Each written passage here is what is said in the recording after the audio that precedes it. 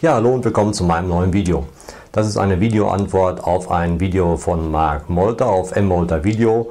Marc, du hast vor einigen Wochen auf YouTube darüber berichtet und dich aufgeregt, dass die GEMA jetzt tatsächlich plant, für auf äh, Webseiten eingebettete Videos Gebühren zu verlangen. Äh, dein Video, für die, die es nicht gesehen haben, verlinke ich in der Beschreibung. Äh, demnach soll es tatsächlich so sein, dass wenn man sein eigenes Video auf seiner eigenen Webseite einbindet, dass man dafür noch Gebühren zahlen muss. Ne? Und das geht natürlich gar nicht, da gebe ich dir völlig recht.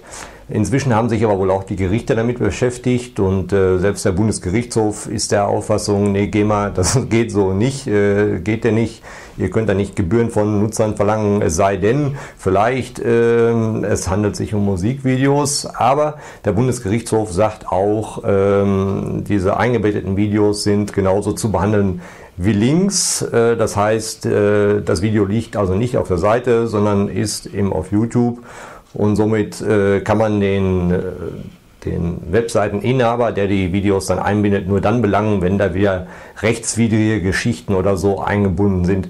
Also das ist Gott sei Dank vom Tisch, so scheint es. Ähm, aber auch die EU beschäftigt sich damit. Ja, ähm, da gibt es Gerichte, ähm, die das vielleicht anders sehen, aber dann auch dann wird es wohl keine Gebühren geben. Es wird dann wohl so sein, dass dann wenn die dann eingebunden sind, diese Videos auf den Seiten, dann eben steht, äh, wie es heute bei den GEMA-Videos auch ist, dieses Video ist äh, in ihrem Land leider nicht verfügbar oder ähnliches. Ne?